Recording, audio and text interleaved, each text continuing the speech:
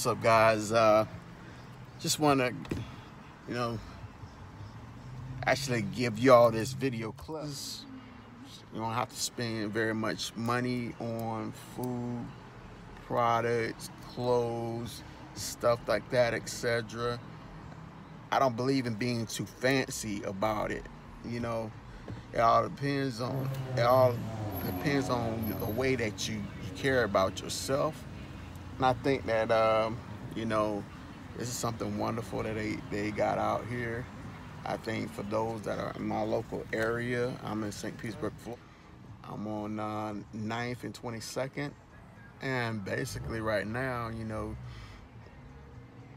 they, they giving away a ham. So that's just to let you know all the, the outsourcing, the resourcing, all that stuff right there. I mean, some some people are afraid of, you know, coming back to their beginning, to humble beginnings and stuff like that. And actually, especially when you get a little bit of income in your hand and you forget that, you know what I'm saying, some, some people forget about their heritage or they, you know, their African-American roots or, you know, their culture.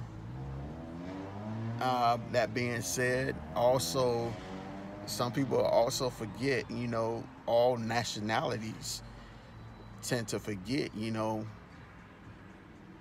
to do their resources. I know in St. Pete, you know, heavily in the 1996, 1993, 1994 eras, man, we were all taught to resource, you know, outsource and stuff like that. So you got people out here that are doing so. So you don't have to spend money on heavily on foods and products and you know what I'm saying and clothes out here. I mean some of the stuff some of the stuff I'm I'm not wearing yeah this stuff I bought but some of the stuff I wear on a daily basis I actually do get through thrift stores and, you know, just hacking it, you know what I'm saying? Uh, once I found out that, you know, some people just don't don't know how many times a year people go through thrift stores and I know some people right now that go to thrift stores and you think that they went in the mall and shopped all day long. They may have got a few pieces from the mall now, and what have you, and like some gold here and there, but they got it. You know what I'm saying? It's it's how you how outsource yourself, going to pantries and stuff like that. I do do that too as well. I'm not too big. Uh, I'm not too big for my britches, and I'm not too fancy about living this life. You know what I'm saying? You only got one, so uh, God only gives you one. Jehovah only gives you one life to live. And after that, you done.